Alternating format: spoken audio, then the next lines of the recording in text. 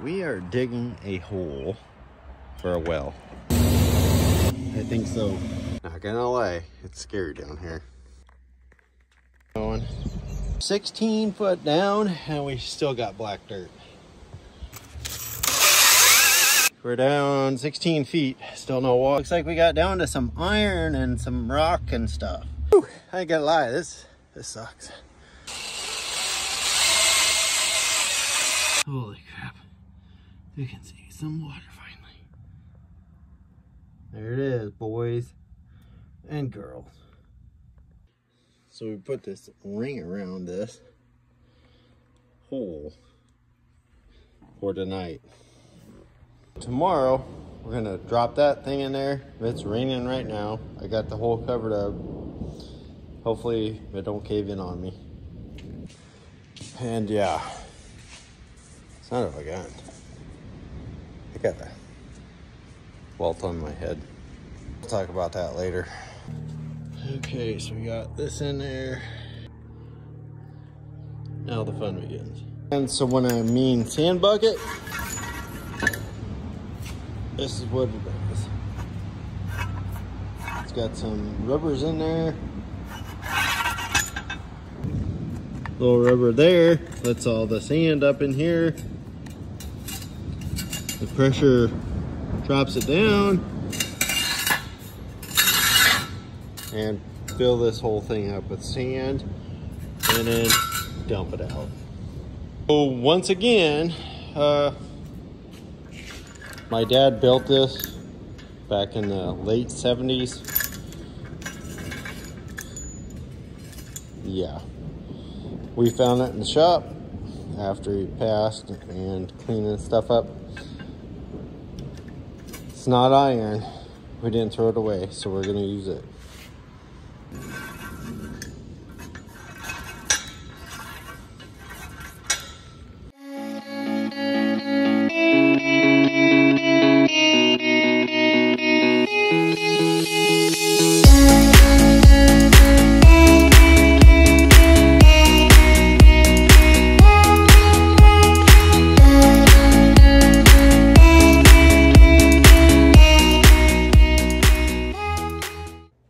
Bad day for me, I just lost the sand bucket down that well. The hasp come unhooked and dropped it.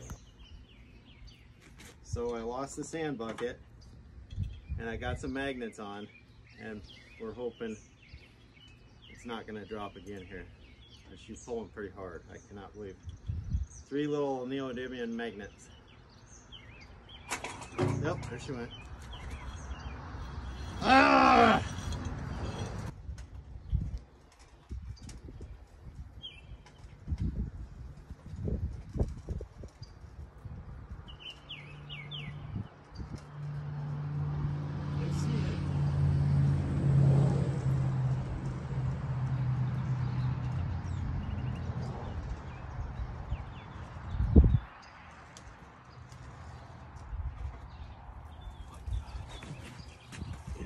Camera.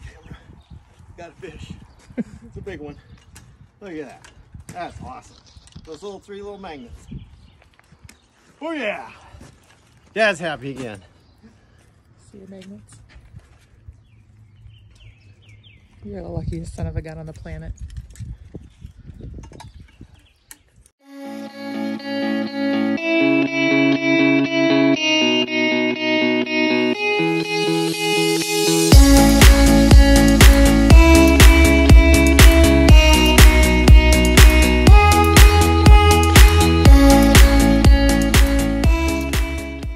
Overall depth from the surface of 47 foot. So that is actually greater than I thought I was gonna get. So we're good there. Water sitting at like 23 feet from the surface. So we're gonna keep the pump about 10 foot off the bottom. We do have a concrete plug I'm making right now to put in the bottom of this once we get it kind of test pumped. Okay, so now last step, we're 40 feet down. I dumped some pea gravel down there just a little bit to get, make sure I'm at 40 feet and this plug's gonna go nice and gently and I'll unhook it. So don't do what I did it was too tight and I had a suspicion. I lowered it down with the tape measure, got to 30 feet, and it sat right on top of the screen and got wedged there.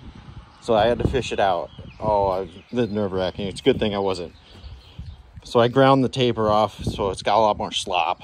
My bad. If anything can go wrong, it'll go wrong to me. I'm, I'm, this is nuts. Got the well almost ready to go in.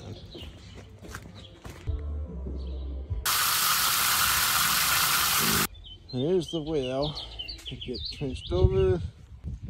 Finish with the pitless. Well, boys, there's the pitless. They screwed some threads up on here to straighten them out so we can get the old PVC on there. Must have been a Monday morning weld. So there's the other end. And I went cheap. I saved the old cap from another well. That'll go right on top there. Well, we're finally getting to it. Finally got the pitless adapter and I'm currently pumping some water out right now. So, cut that off right there and stab that on there. Have sticking out of the ground about a foot or so. Bird dropping there. That's gonna take forever. There she is. Fill a little dirt in now. Okay, so we lowered the pitless out down in there. Now we're gonna turn that nut so it drives that rod down. That should wedge in. On the pitless, there's a little notch right there. They have to get lined up right. That way you're right in line. So here's a good cutaway of what the pitless actually looks like and the wedge mechanism that makes it tight against the pitless adapter. As you can see here, there's a good illustration of it. Uh, I should have done better explaining this, but that is what it is. Well, we got the well going again. Out of the pitless, got the pitless sealed up, coming out here inch and a quarter down to an inch, and coming up to a hydrant. We're flowing water right now. I got a valve behind this pipe I got a T-handle here to shut it off. And then that goes to my main piping system throughout the form here. So just coming out of that hydrant, we're at 40 PSI, no pressure tank. Right here is where my pressure switch is gonna go. So what I'm gonna do is I'm gonna buy a electronic transducer and it's going to be coiled up in a quarter inch little pipe, braided pipe, stainless, so I can hook it and lift it out of there and change it above the frost line whenever I want to. It's going to be a cap on there. And then it's going to go to the junction box in my electrical panel. So when I'm ready to ever valve this whole system in, if my other well goes down, I'll be able to rely on that pressure switch to cut the well on and off. That's the plan anyway. Okay, gonna button this all up now. Safety rope, wires, ready to go. Well, getting her all soaked in here. Get the dirt settled out. Ended up being a little bit higher than I want, but it's highest point of the property. It's gonna be about a foot, so if we bring it in there, we'll be fine.